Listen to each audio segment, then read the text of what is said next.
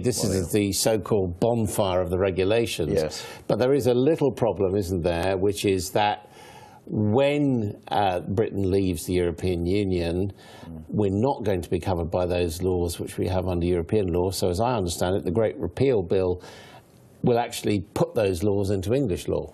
Yes, there's an irony to it uh, as a Brexiteer to, have all these laws actually added to UK law. But it is true, things like regulations are directly applicable if you're an EU member. Uh, uh, when we cease to be an EU member, they're no longer directly applicable, so they have to be wrapped into the Great Repeal Bill, and so do decisions of the Court of Justice, the ECJ, um, whereas directives are actually transposed into UK law. So the whole thing will be put, like downloaded into one uh, Act of Parliament, and that will be the Great Repeal Bill. So where is the opportunity coming, in your view, to eliminate a lot of these regulations? Well, I mean, if you if you think of it in terms, it's 700,000 pages overall. It, it's it's the height of Nelson's column in terms of paper.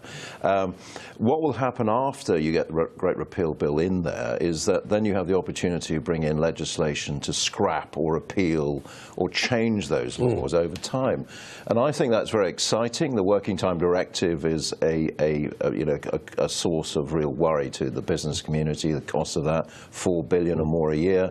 That is probably a, good example of a starting place. Uh, but there's a lot more to find. But the truth is, yeah. a lot of these regulations were actually put in there to protect the consumer and to protect the worker. And you, as a member of the European Parliament, mm. presumably supported some of them. Well, some, Are you yes. saying we don't need yeah. those protections anymore? No, I mean what you're talking about is going beyond what you need to. I mean, the EU uh, itself estimated that we pay 100 billion more every year than the United States, for example, in comparison yeah. terms. Now, not saying we go to US regulation levels, but somewhere in between that, I think would help yeah. the economy. I mean, I mean, just give you one trivial example. If you buy a mug in America and you put it in the dishwasher, mm. whatever picture was on it washes off. It doesn't happen over here because of yeah, EU regulations. Yeah. Well, I mean, but it, the, the key point is it will be up to Westminster what we keep and what we get rid of. But there's a huge massive, opportunity. Massive amount of work, though. I mean, uh, you know, when you see these headlines saying piles of red tape, I mean, a lot yeah. of that red tape we actually will want to keep. well, to, to, to as I say, people. it's over-regulation. It's as where it's go. Temporary agency workers directive, for example, in the business community again is a worry. Two to three billion a year.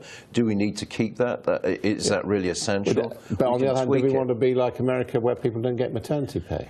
Uh, no, we don't. We want to so keep we do that, want to keep we? Some no, we yeah. want to keep some of it. I mean, we're not intending to you know, to destroy all of it. But the point is, uh, the British Parliament can debate all of this. That's the beauty. I mean, I'm afraid, you know, we're stuck with it. Any debate, EU debate member pile of paper the, the, the, size of Nelson's yeah. column. Yeah. That's going to take some hours, isn't well, it? Well, what an opportunity. It's not a negative thing. Uh, what I actually encourage businesses to do, particularly or any you know, anyone concerned with EU law, is to come up with 10 key EU laws you want to get rid yeah. of. Now, I want to ask about the crested newt, because this is yeah. one that is often yeah, cited, that building projects have been held up because it's been a habitat for the, for the crested newt. Some people would say that's a good thing and has got actually nothing to do with the European Union and has got with the uh, British love of wildlife. Well, I, I, mean, I'm not in favour of killing lots of newts. No, that, that that's not so the, you would the keep intention. The newt no, the, the point is we have a lot more in Britain. They're not really endangered in Britain. They are in other parts of the EU. And it's a classic case of sort of an EU law right across the uh, scope there that uh, not really necessary. So you wouldn't protect the crested newt? Well, not in the same way. Uh, I mean, you wouldn't get rid of them as such, but I mean, you know, yeah. it would just be more sensible and more applicable to, to yeah. Circumstances in Britain. But isn't there a basic um, basic problem here, which is a sort of systemic one? I mean, I have over the years experienced many pushes on red tape from within the European Union, from within the British government. In the end, you guys are lawmakers. You're not law destroyers. I mean, you do stack them up. Yeah, you? but I'm afraid you, uh, you know, I'm a member of the European Parliament. I see it up close that it, this is not a democratic, accountable machine you're dealing with.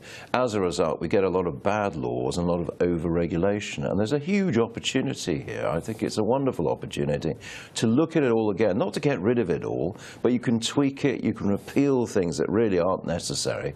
And I think it's going to benefit the economy hugely. Mm.